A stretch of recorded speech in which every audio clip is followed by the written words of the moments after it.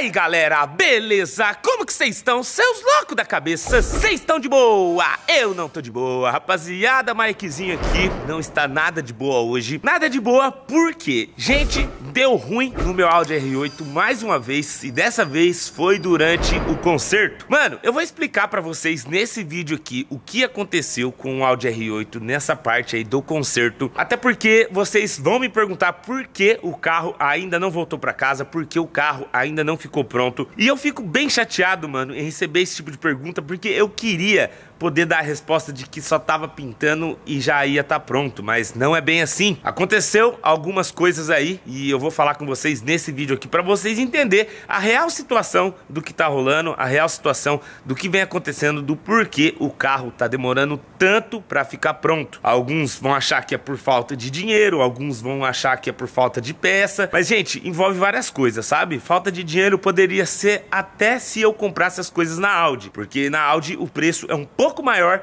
do que as peças normais. Por exemplo, aquele aerofólio que tem por baixo do para-choque, na Audi custa 55 mil reais. A gradinha ali do para-choque custa 35 e a outra gradinha custa tipo 15 mil reais. Então se fosse para mim realmente comprar tudo na Audi, ia faltar dinheiro sim, porque o conserto com certeza ia passar de mais de 200 mil reais. Mas não é esse o caso, não é esse o caso porque não estragou quase nada no meu carro, porém as peças que estragaram estão dando o que falar, estão demorando e eu vou explicar para vocês o porquê que tá demorando para tudo isso ficar pronto. Vou aproveitar de relance aqui para dar um rolê na CB1000 Zona. Tô pensando em vender ela, inclusive até falei aí com um vendedor, né? Não sei, de repente eu vou vender essa moto aqui, mano, porque eu fiz um vídeo falando o porquê. Eu expliquei para vocês aí, não sei se compensa eu vender ela, sabe, para trocar por outra moto ou por um jet ski que eu nunca tive um jet ski, eu sonho muito em ter um. Então eu tô bem na dúvida aí a respeito disso. Mas agora a gente vai falar do R8 e para isso eu vou levar vocês junto comigo no rolê de motoca. Ó, vou pedir ajudinha aí, deixando um like nesse vídeo e se inscrevendo aqui no canal quem for novo e deixando o sininho de notificação ativado, porque tá saindo vídeo novo aqui todos os dias, meio-dia e 6 horas da tarde. E para você receber o vídeo no horário certo, o sininho tem que estar tá ativado, beleza? Vamos fazer o seguinte, vou dar uma ligadinha aqui, né, mano?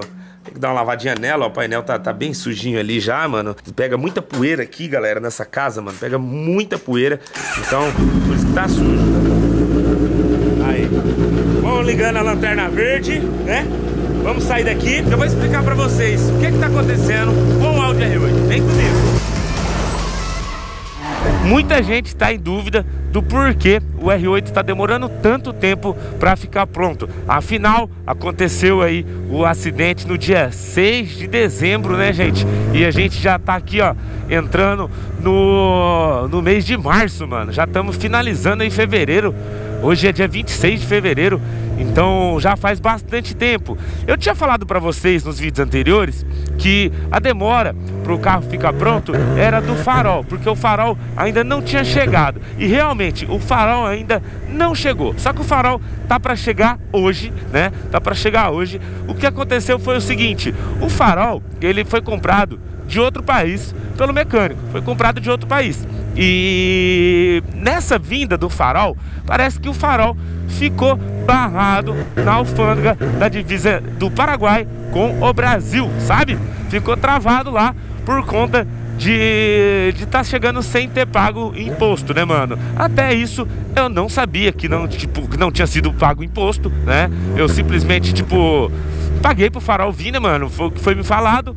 Mas, de qualquer forma, isso parece que foi resolvido, tá, gente? Parece que foi resolvido. E o farol, diz a lenda, que chega hoje. Beleza, mano. Se o farol não chegar, eu vou falar pra vocês aqui no canal, né? Se o farol não chegar. E o que tá agora que vai embaçar mas Mike, só faltava o farol. Por que, que agora deu ruim e vai demorar de novo? Porque o negócio é o seguinte: vocês lembram que o para-choque do carro ele ficou danificado, né?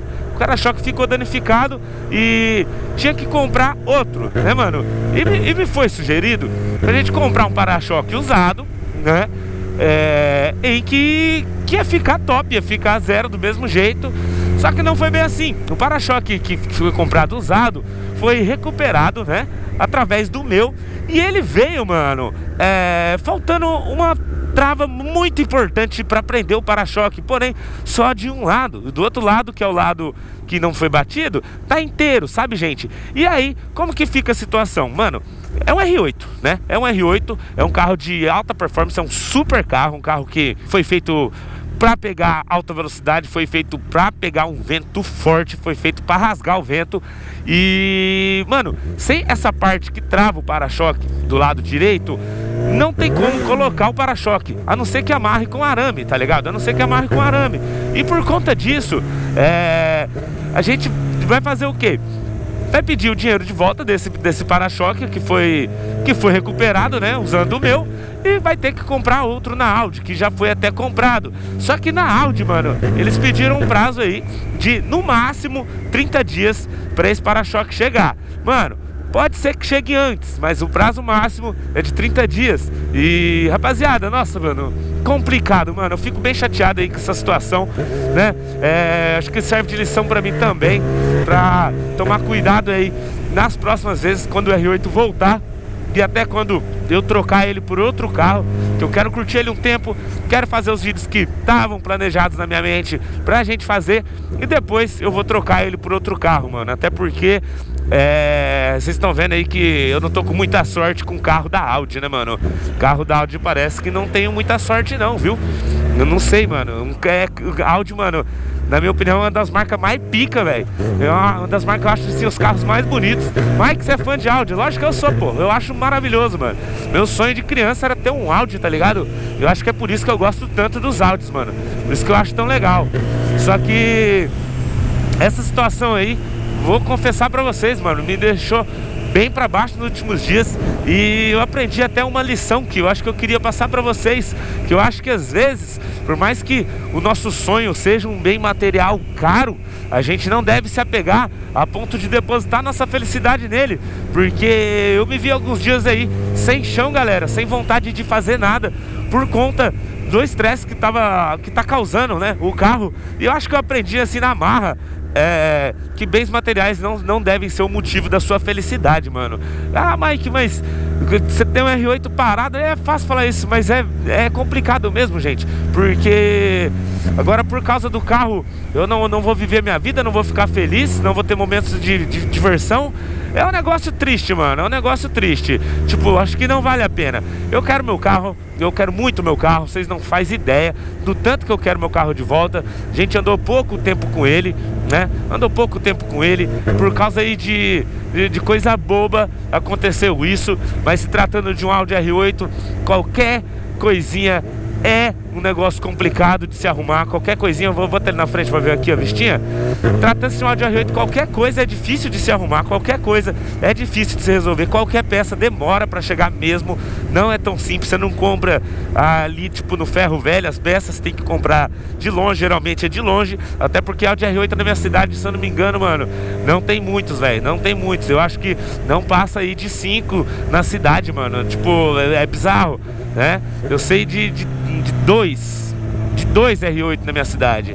O branco, que eu já gravei, e um preto, que eu fui ver um dia e gravei para vocês. Então, pra vocês terem uma noção, né, mano? Pra vocês terem uma noção. Deve ter mais algum ou outro por aí, né, mano? É lógico que deve ter. Só que provavelmente eu nunca vi andando na rua. Não é, não é todo dia que nós vê um Audi R8. E aconteceu isso, agora vou ter que esperar o para-choque, né?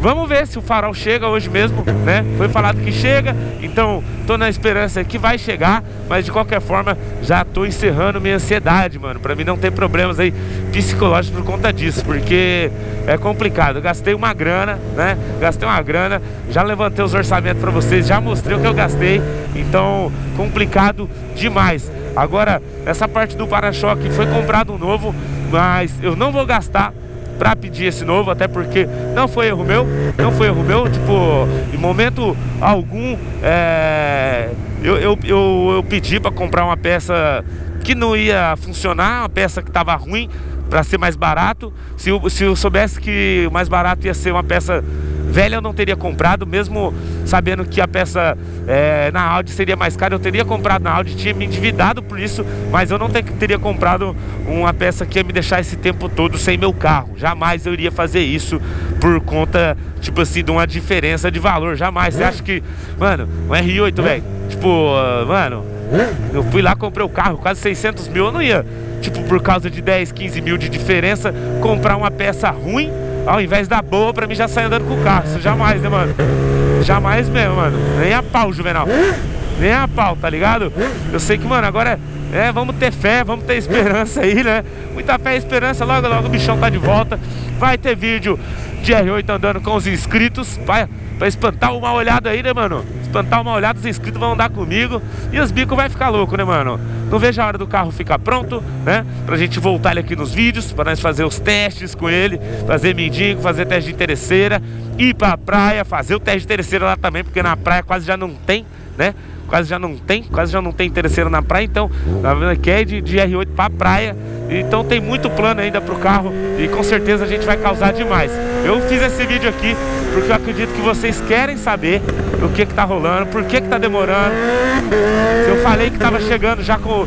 Só faltava o farol, agora falta isso. Infelizmente, mano, infelizmente isso aí acabou tipo de, de atrasar, mas ainda que já tava atrasado. Então, mano, falar vocês, gente, já não vou ficar mais nem triste, mano. Já vou nem ficar mais triste.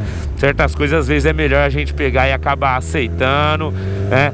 Observando aí a Deus aí para ver que tudo ele tem um plano e tudo tem um porquê. Talvez até essa demora para arrumar tem um porquê no plano de Deus.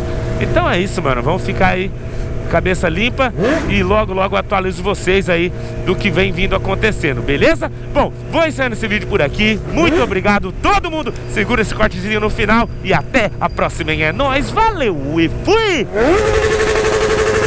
Brau!